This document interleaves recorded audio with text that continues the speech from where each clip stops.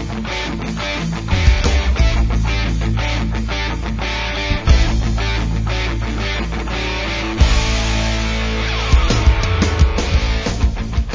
right. Welcome this week to Kitchen Ambush. We're at a brand new location with a new chef, new product, and one new great dish.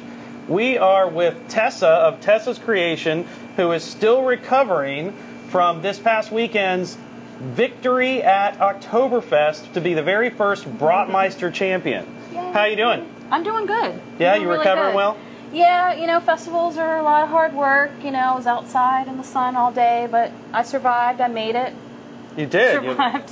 survived survived Oktoberfest in more ways than yes, one. yes. So that dish you made at Oktoberfest, you were using Pendulum Fine Meats brats they made, and you had the jalapeno cheddar wurst, Yes. And you were given the mango tango jam from It All Started with a Fig. And so tell everybody kind of what you made that wasn't there, so they know what they missed out on. Well, my idea was to make waffles or pancakes or, or something, but you know, the generator wasn't working, so. That was totally not on purpose. No, yeah, you know, things happen. So luckily I had a saute pan there, so I figured I'd just throw the saute pan, make the pancakes in that on the grill, which didn't work either, wasn't heating up fast enough. So um, I thought, oh, just put an aluminum lid on there. That can be my makeshift ghetto griddle, and made some pumpkin pancakes. And what I did was I, you know, cooked the uh, sausage, wrapped the sausage in the pancakes. Um, put the uh, the jam on top and Mhm. sprinkled some ginger snap crumbs. It I mean, was- that is the new fix for everything ginger snap crumbs. yes, It- I it- think so. It totally And fixes everything. too. And aluminum lids. so keep in mind, you're ever in a pinch and you have your grill. Say you lose power, you're out camping, you, you put an aluminum lid on your grill top, you instantaneously have a griddle. yes. That may or may not work. But we say to try it. No, I think it worked great. It did. Yeah. It came out great. It was, it was a great contrast, good flavors. The pumpkin really came through and actually worked really well with the cheddar and the jalapeno and the brat.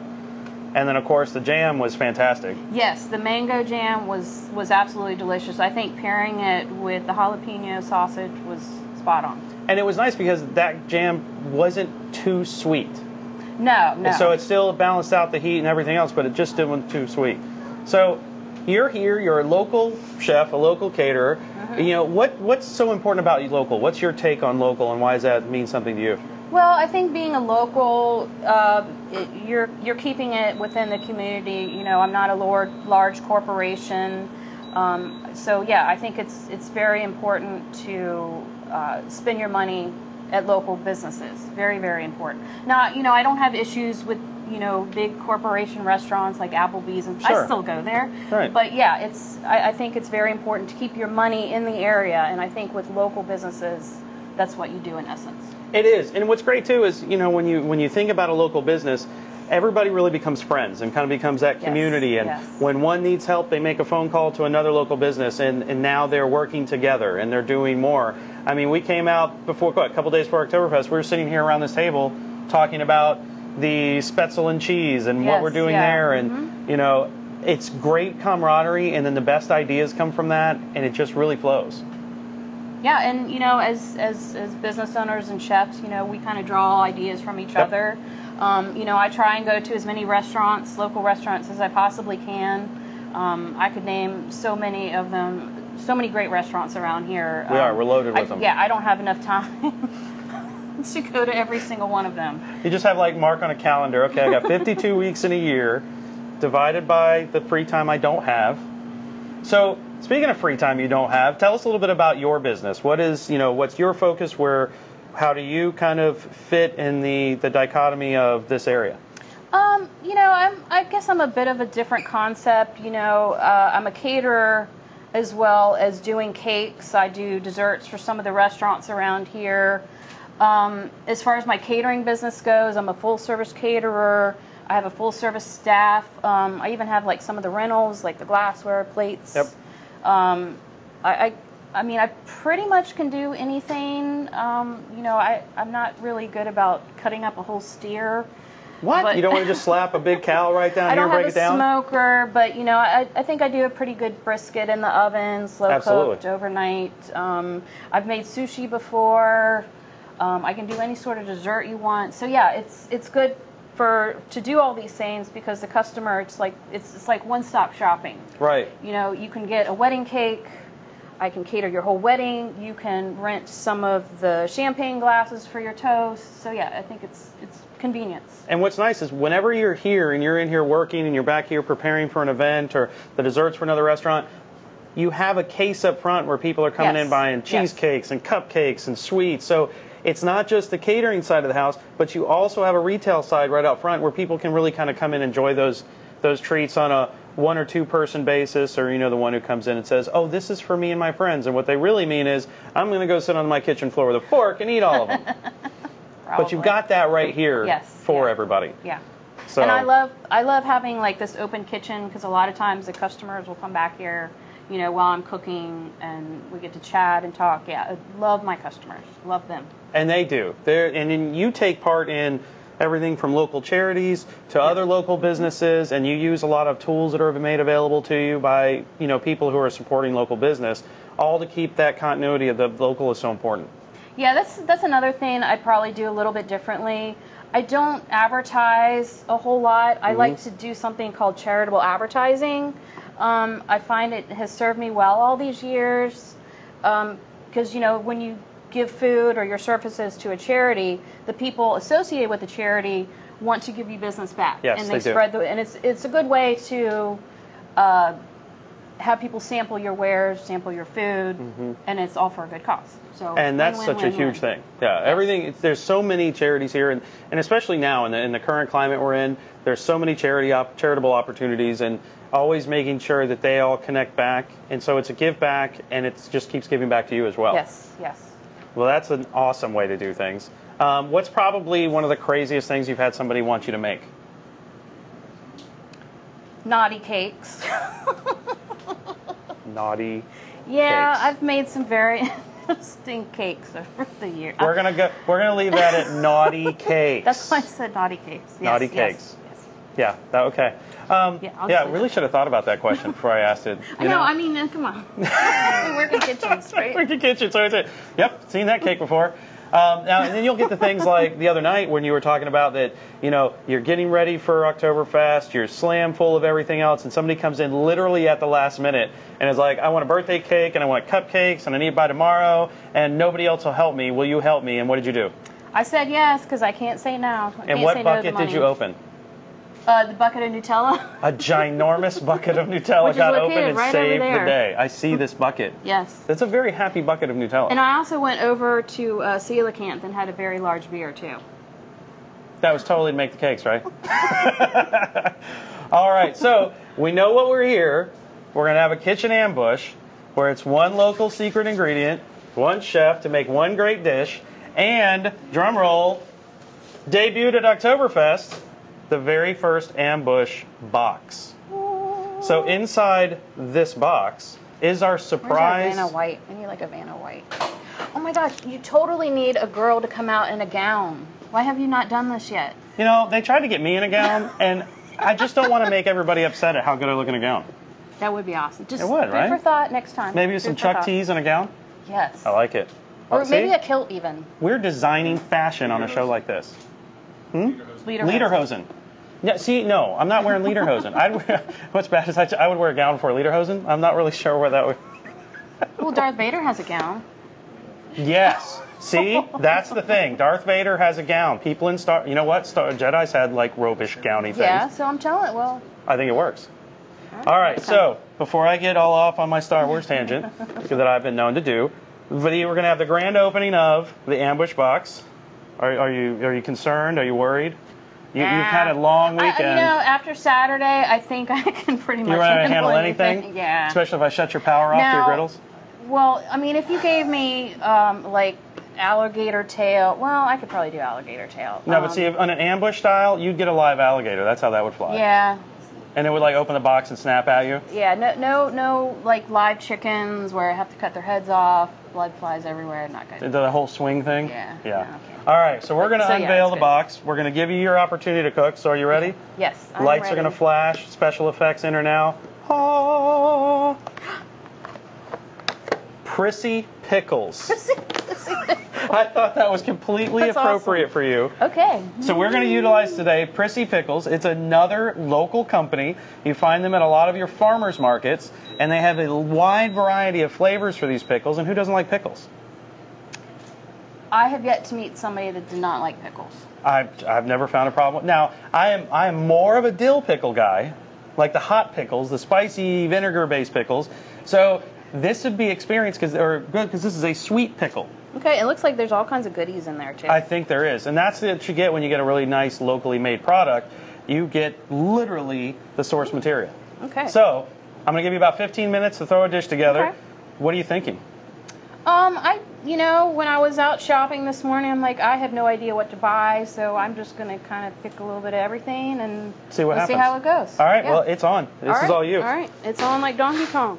All right. This is my favorite part of being in a jar is to watch everybody Well, jar. you know, I learned an old trick. It it probably messes up your knife, so you got to use a cheap knife. But if you jam the knife in the lid, it lets the air out and easier. massacres a, a jar. Yeah. You know, so, no jars were hurt in the opening of this no, one. no. no. Let's see. Let's see what this guy All right, tastes you got. like first. what are you thinking? This is a big old pickle bite there. Very First thing in the morning. That was awesome.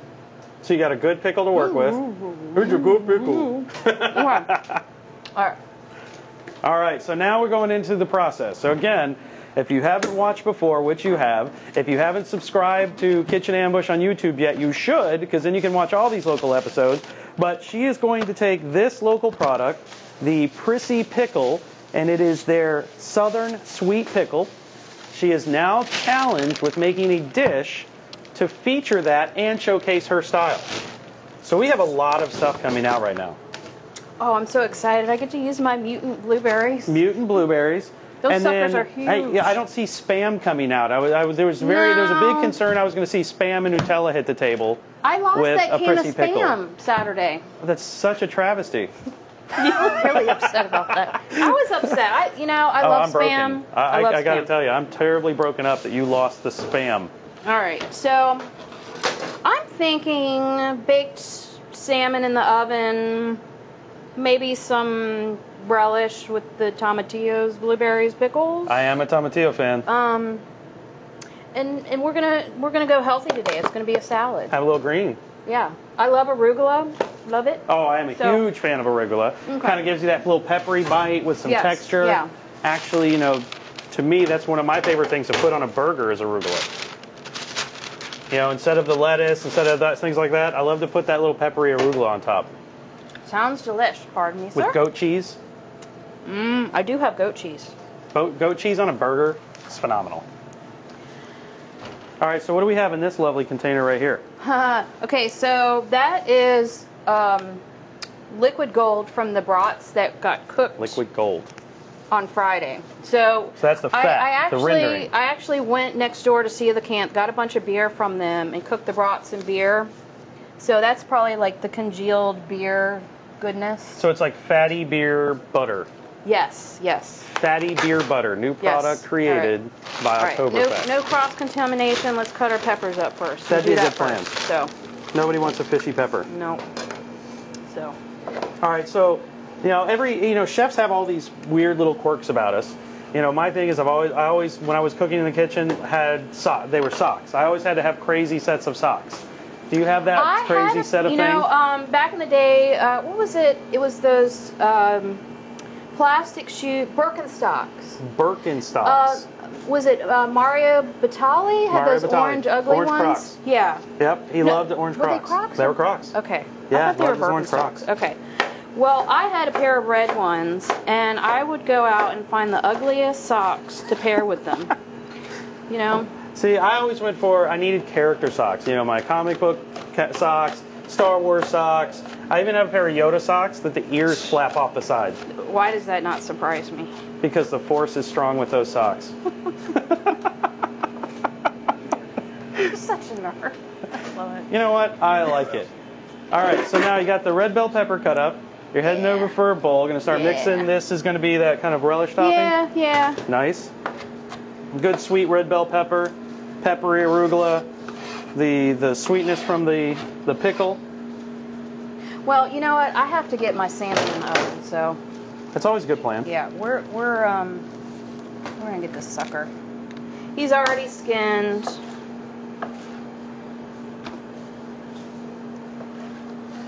And so we'll plate up two because we have to have one for Yes. the pictures, Yes.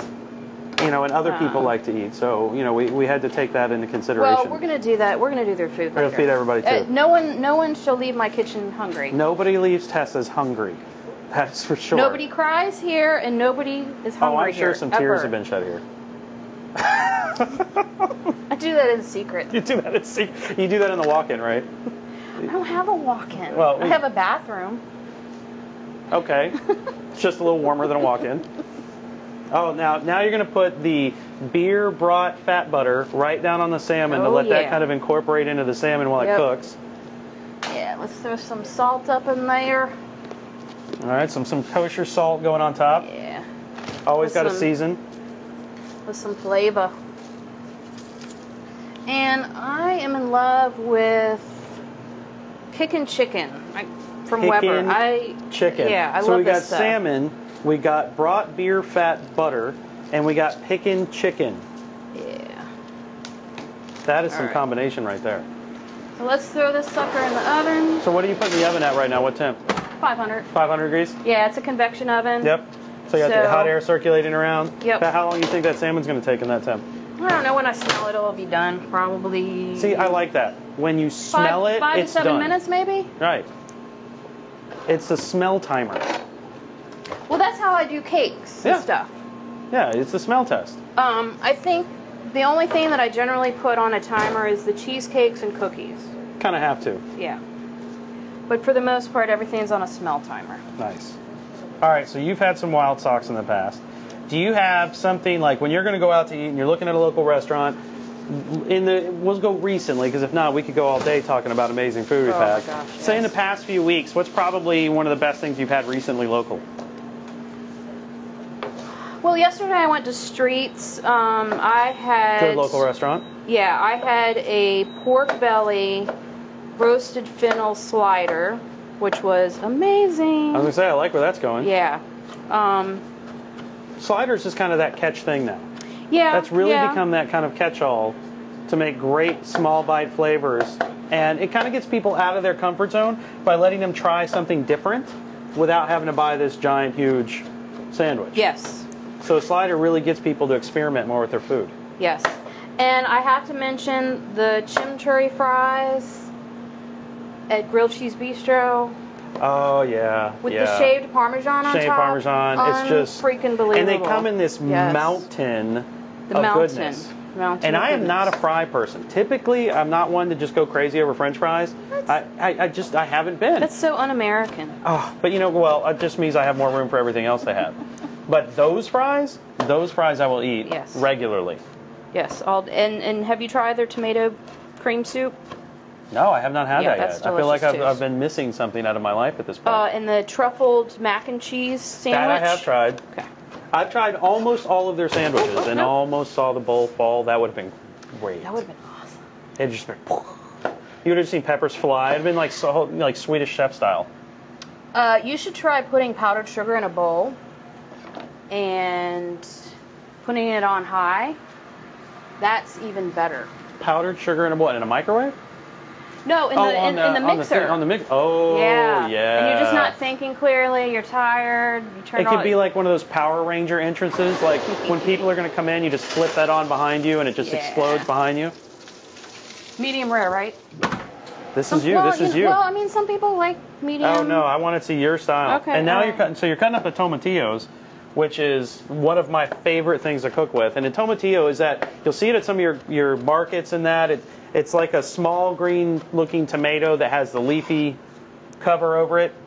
It- The you husk. know, yeah, the husk. A lot of people look at it and they're like, "Oh my God, what is that?" But it is a phenomenal flavor. What is it you like about tomatillos? Um, it's it's it's like a citrusy tartness that Yes. a regular tomato just doesn't have. You're gonna add a little of the pickle brine to it. Don't want any pesky um, peppercorns in there. Oh, you don't want to bite down on a big juicy peppercorn? I can't imagine that going, you know, Yeah. non-tastily. Well, it's a good thing I don't wear dentures. you just replace it with a uh, peppercorn. Yeah, I have had some uh, some work on my teeth recently, so you know I can't be Probably wouldn't be a good plan. eating. All right, so now the pickles are going to be featured inside the relish. They're also the juice from the pickles is the brine from the pickles is also what's going to go ahead and, and bring that relish together. Yes, And yeah, then that's what I gonna was be- thinking. So you're going to have the salmon, the pickle relish, and the arugula. And I love the fact that you're using your, you know, your brat butter beer concoction to really kind of give fat to the dish. Yes, yes, and yes. All right, so let's. So that be, let that be a lesson. Never throw away good fat. It can always be used later. Well, I'm sure the liposuction people would probably disagree. Never go away edible fat. I, I keep thinking of Fight Club now. You can make soap, right? it'll be it'll be wonderful. Just lather up with some brat fat. There you go. There's a whole nother use. But it, it, is fun to have that fat laying around because you go to cook a dish, you don't have a lot of time to impart new flavors and cook something down and, and really, you know, liven up a dish. You can just use, you know, leftover fat, bacon fat and duck fat. Mm, Love duck fat. Cracklins. Cracklins. Yeah, duck fat's another. Duck fat is Wonderful. just it's gold. That's Mm, just the best yes, stuff in yes, the world. yes. Cook everything with duck fat. Yes, green beans. It almost doesn't matter. Yeah, duck fat too it's delicious. Duck Brussels fat fries. Sprouts, fries. Oh yeah, Brussels sprouts. That's a good one. Yeah. I mean, literally, look at these suckers. This is not normal. I'm partly afraid of what that is. But I tried one. They're really good. She says that now. We'll see her in 12 hours. so you had you had a good time at Oktoberfest? I did. I did. This the Star Wars people were across from me. Yes. Um, The 501st Uh, the- Garrison Tyrannus, hilarious. They had the Sand Trooper with lederhosen on. that poor guy was just shriveled by the Yeah. end of the day. They're wearing these Probably suits. was like it was three amazing. pounds.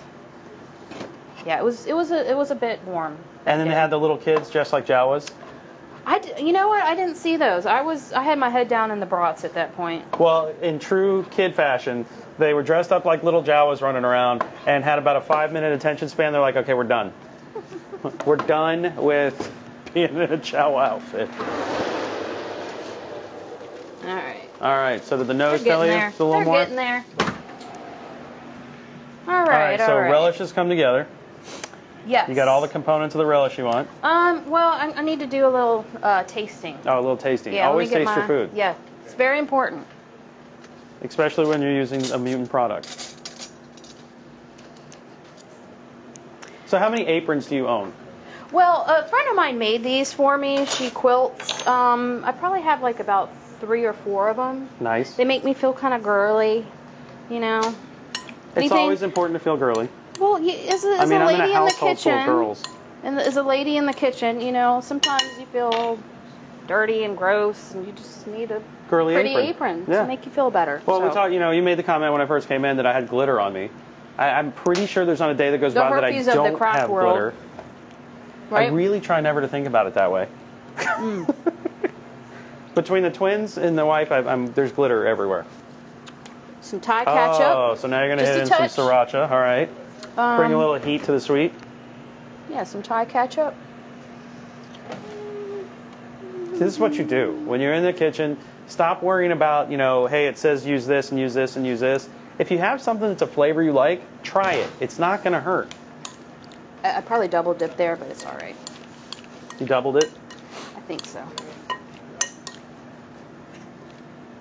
See, now that's how this works. You just experiment, you try things, you enjoy food, and it's always better to have somebody else in the kitchen with you, because then it's just fun. Because then if you really Maybe. messed up or something, you're like, oh, it was good, try this. This tastes horrible. Here, try this. Yes. Or, or my favorite is this smells awful. Here, smell this. you already preempt them that it's going to be so bad. I already know it but then you smells bad. still, but, I, you I still need, want them to go ahead. Yeah. You have You to have need somebody else confirmation. share that pain. Yes. You need confirmation that it smells bad. It's not you. So. And I think we need some more. And you can, s you really smell the pickles.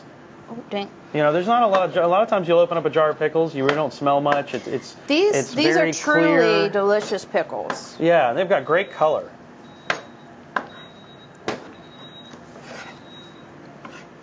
All right, so more blueberries in. Yeah, we'll throw some more blueberries in. It's arugula.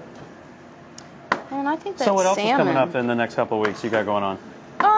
Just a lot of catering gigs. Um, you know, of course, the the cakes. Uh, I started doing desserts for Legend Brewing with, that just opened up in uh, Portsmouth, right where the ferry lets off. And you're using their beer to make the cakes, right? Yes, their beer is delicious. So you're using a local product to make another local product to be served at a local business. Yes, yes, and you yes. can't go wrong. That's the entire trifecta. It's that perfect cycle of life.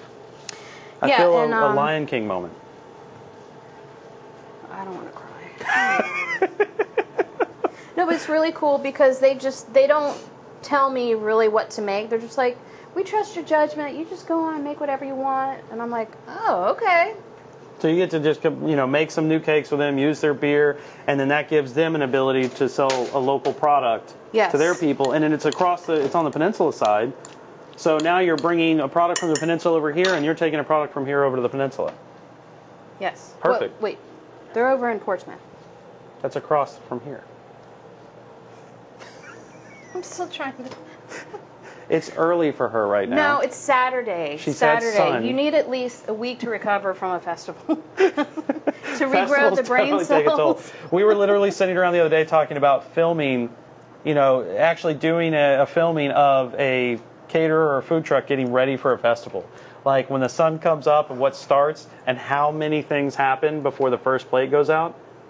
That that would just be something really hilarious to watch. Well, it'd be an eye opener for some people. An eye closer for others. like, oh my god. Well, you know, this job is hard work. You have to really love what you, You do have to love what you do. have to love this job. Because then you're, you're putting yourself into it, you're putting yourself out there, and it's not just whether people like the food or not. It really becomes connected to back to us about whether they like us. That is so true. Deep thoughts. Deep thoughts from Kitchen Ambush. Yeah. Should start doing like a uh, what is the the SNL guy? Um, the hand. What is his name? Deep thoughts from. I have no Mhm. idea. At this point, they all kind of blur together. Yeah, they pretty much do. All right, let's put Let's this do it. Let's it plate up. it up. Plate it up. More deep thoughts to come later. All right, so let's move our salmon. All right. We got some yummy organic arugula. Arugula. Now I just I have to uh, throw something out there. I usually get my produce and good stuff from Westside, but Sunday I was I was off the clock. You And they, checked out and on they usually, Sunday. I mean, they have an amazing. They do have a great spread. And they're the only farmers market in Norfolk now. And it's its The own only store. one. You can go there all the time. yes. It's right over Alcali yes. Avenue. Yes. And they carry a lot of the local products we use on the show. Oh, I did not know that. They do, yeah. But yes, West Side Produce. So let's see what you're thinking. Sorry, All so arugula down first on the base. Yes. Now I don't. I mean, I like dips. I like sauces, but I like things to be sort of plain. Mm-hmm. So I'm not gonna put it. I'm not gonna dress the arugula. Right. You want the you want to let the gonna let flavor of the the- product do its thing. Yeah. The stuff from the the flavor of the salmon and the flavor from the relish. Well, especially by using the brine from the pickle juice, you kind of get your own little like vinaigrette esque Yes. Yes. flavor to the dressing, anyways. And since I down buckets of Nutella all the time, I'm You not do down trying to buckets of be Nutella. 300 pounds. So Nutella is a tasty thing. it's it's. Yes. All right, so salmon going on top. Our top. salmon. Nice little bed of arugula. Uh, we need a we need some forks and some knives. Bring over the relish.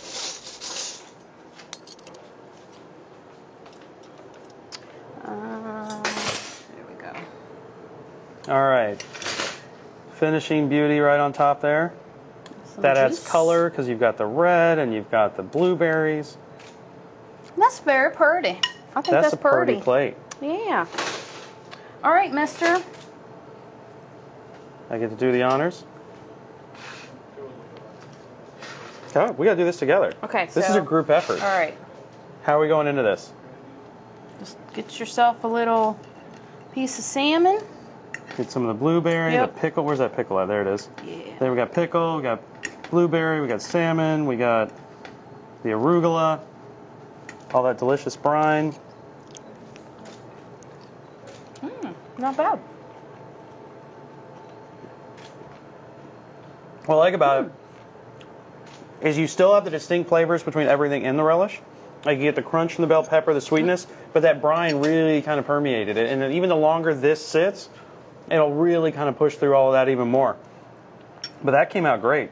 Well, thanks. And I, you know, what's funny is I was tell, I was laughing with him. I'm not a huge sweet or bread and butter pickle fan, but this really works. Well, that's not your average sweet pickle, methinks. No, mm-mm, There's all kinds of goodies in there. There really is. The And that's what you want to see when you get a good local pickle, Mhm. you see all the stuff that went into Oh, that pickle. all the good stuff Yeah, it's all in there. sinks down to the bottom. And then you save the, you know, if you pull the pickles out, use the pickles, that makes a great brine for chicken. Pickle juice brines for chicken, Isn't that totally the out of uh, secret ingredient at uh, Chick Fil A? That's the secret thing. Yeah. I mean, I was gonna say Jesus juice, but it's pickle. it's pickle juice. juice. Well, I mean, they yeah. are a religious organization. And they do. They brine the chicken in pickle juice, and that's why the pickle on top works so great. But right here, it literally brought the relish together. Well, I'm going to say that this has been a successful ambush. I think so. I think you made some great food. We are continuing to show up at local restaurants to see local chefs like Tessa with a local product like Prissy Pickles. And next week we'll be at another restaurant. But if you haven't caught up to where we are right now, you go to YouTube and search Kitchen Ambush, and you can see all of our episodes back to the very first one. And now we have a new veteran of Kitchen Ambush, that is Tessa, who is also the 2017 Oktoberfest Bratmeister champion. What? So find Tessa's Creations on Facebook, Instagram? like her, Instagram, mm-hmm. like them, follow, come by here and try some great local food, and then look us up, Kitchen Ambush, on everything Facebook, Instagram, but most importantly, subscribe to that channel so you can see more great local food and products. Next week we'll be in another place. We'll be coming up live to you at a couple more events here very, very soon, and there's some surprise things that are going to be happening. Oh. But this has been a great day. The food was phenomenal. We'll see you next week. Don't have too much fun unless you tell me about it, because then I want to come too. Tessa will come too. She'll bring cake, And beer, maybe. cake and beer, And Nutella. and Nutella. Bye, guys.